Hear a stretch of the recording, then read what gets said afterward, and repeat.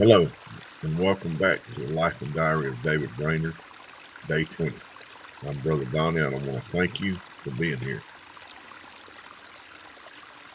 Sometime in August following, I became so weakly and disordered by too close application of my studies that I was advised by my tutor to go home and disengage my mind from study as much as I could, for I was grown so weak that I began to spit blood.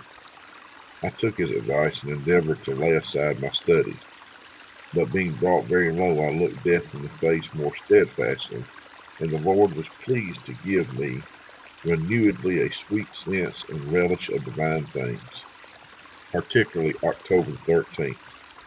I found divine help and consolation in the precious duties of secret prayer and self examination, and my soul took delight in the blessed God. Saturday, October 18th.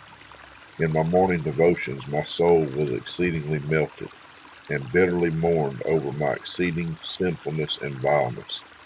I never before had felt so pungent and deep a sense of odious nature of sin as this time. My soul was then unusually carried forth in love to God and had a lively sense of God's love to me.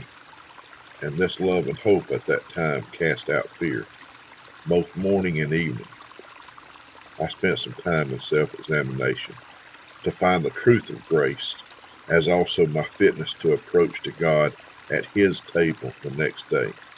Through infinite grace, found the Holy Spirit influencing my soul with love to God as a witness within myself. Lord's Day, October the 19th. In the morning, I felt my soul hungering and thirsting after righteousness.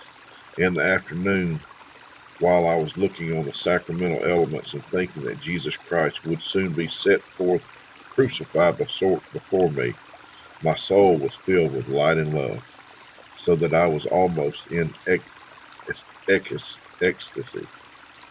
My body was so weak I could scarcely stand.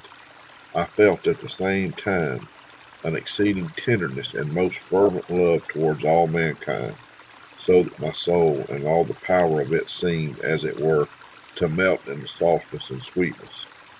But during the communion there was an abatement of this life and fervor.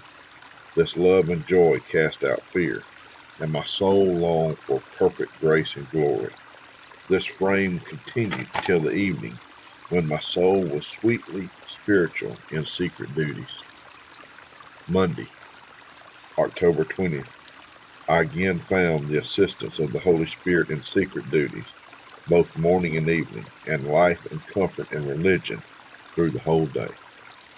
I do hope you have a great Lord's Day, and we'll see you tomorrow.